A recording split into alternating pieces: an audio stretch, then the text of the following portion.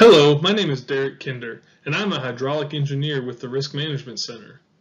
In this video, we are going to discuss flood seasonality analysis in the RMC RFA software. Three analyses are performed in RMC RFA, flood seasonality, starting stage duration, and empirical frequency curve. This lecture will cover the flood seasonality analysis. The objective of this presentation is to understand how to perform a flood seasonality analysis in RMC RFA and how it will be used to inform the loading curve. Flood seasonality is the relative frequency of floods calculated on a monthly basis. In RMC RFA, a flood is defined as any event where the volume exceeds a user-defined threshold for the specified flow duration. This is sometimes referred to as the peak over threshold method. This image is showing which storms from the dataset would be identified as flood events as they exceed the threshold flow. This plot is a result of a flood seasonality analysis, which shows the months or periods of the year during which floods have occurred based on the discharge gauge data. The relative frequency is calculated for each month, RFA uses this information to sample the month during which a flood event occurs. In this example, flood events based on historical daily inflows can occur in most months throughout the year, but most often occur in May, and have not occurred in August through November. I'm going to compute a new flood seasonality analysis using RFA. First, I'll open a new flood seasonality window I can do this by right-clicking within the Project Explorer or by selecting Analysis in the File menu and selecting New Flood Seasonality. The empty flood seasonality window opens. Here I can enter the name and description. The parameter window requires several inputs. First, we must select a discharge gauge from the drop-down menu. This drop-down menu is populated with all the discharge gauges previously entered. Select the discharge gauge reflecting the period of record to be used for the study. Now let's look at the threshold flow. The threshold flow defines what magnitude of event will be counted as a flood and should correspond to a specified frequency level from the volume frequency curve for the critical duration. For example, the threshold should typically correspond to something on the order of a two-year to 10-year return period. This is the threshold above which the flows will be selected as flood events. There are two conflicting goals in selecting a threshold for identifying rare floods. One, the threshold needs to be high enough so that only flood events are considered in the analysis. And two, there needs to be a flow dataset with a long enough period of record so that a large enough sample of flood events is used to reduce errors due to small sample size. Considering these two goals, the threshold should typically be set to a rare enough frequency that will still provide a sufficiently large sample size. A rule of thumb is to select the largest return period, or smallest annual exceedance probability, that produces a sample size on the order of 30 to 40 flood events. Determining an appropriate threshold flow is often an iterative process. The next input needed is critical duration. This should correspond to the critical duration for the inflow volume frequency curve. The final inputs needed to run the analysis are the maximum events per year and the minimum days between events. These values should be estimated by inspecting your data. How many floods above the threshold occur in a typical year? How far apart do flood events need to be to consider them as being independent floods? You can also use a guess and check approach to balance these inputs with your threshold flow in order to come up with 30 to 40 events. So, back to RMC RFA.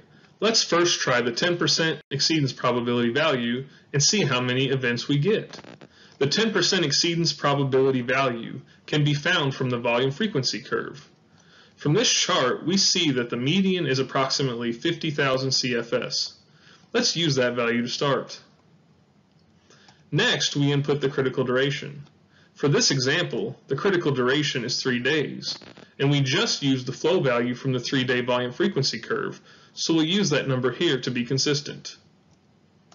Now we are going to input the maximum events per year. If you are unsure how many data points your initial flow threshold will yield you, you can start with a conservative estimate on the high side of 5 events per year. For a more educated guess, you should inspect the flow data. Finally, input the minimum days between events. This parameter is used in conjunction with the maximum events per year. What we are trying to accomplish with these two inputs is independence between events. This can be determined by visual inspection of the flow time series to see the typical time between large flow events. Let's look at the data and try to determine the time between large flow events. Here I've zoomed in on 2015, a year that represents a typical year from the dataset. From visual observation, we can tell that the threshold flow of 50,000 CFS is exceeded three times this year. This is less than our max number of events value of 5, which means that all three floods will be included in the analysis. We have a relatively long period of record, so we don't necessarily need multiple events from every year. But these results seem reasonable for now. It's an iterative process. Next, let's focus on the time between events. Looking more closely at a few events, this December event ended around the 3rd, and the next event appears to start around the 23rd. That's 20 days between these two events. Based on the data and our understanding of these events, they appear to be independent. We can start with 20 days for the time between flood events.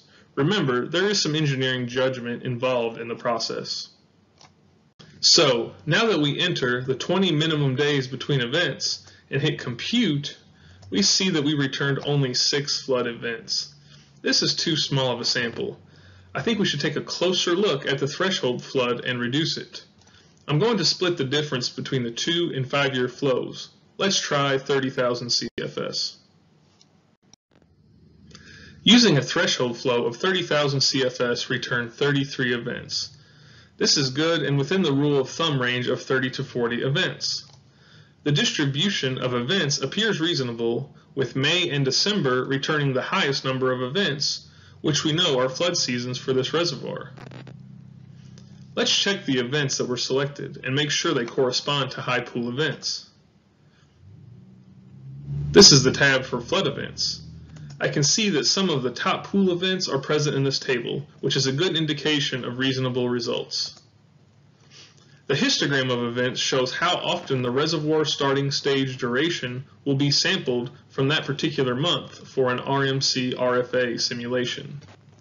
So in our case, no reservoir starting stages will be sampled from the months of July or August, and the majority will be sampled from May, November, and December. We will talk about reservoir starting stage duration in another lecture. There is the option to manually enter into this table. Right-click in the table and select Manual Data Entry. Then you can see that the frequency column is unlocked, and you can edit the relative frequency for each month. For this example, the final seasonality was manually changed using analysis results from outside of RFA based on annual maximum stage events. You should perform a flood seasonality for any duration that you are examining. Our example has a flood seasonality for the critical inflow duration of three days only. For reservoirs that are regulated to fill to a target stage each year, a seasonality analysis based on stage will typically result in a stage frequency curve that has better agreement with observed stages in the frequent portion of the curve. A stage-based seasonality analysis can be developed by evaluating annual maximum stage, daily stage, and the reservoir rule curves. Always compare the infrequent part of the curve to make sure there is reasonable agreement between the flow-based seasonality analysis and the stage-based seasonality analysis. If there is not reasonable agreement, two separate curves may need to be developed and then blended into a final stage frequency curve. The stage-based seasonality would be used for the frequent part of the curve, and the flow-based seasonality would be used for the infrequent part of the curve. You should now have an understanding of flood seasonality, how to complete the flood seasonality in RMC RFA, and be introduced into how it's used in the RMC RFA software.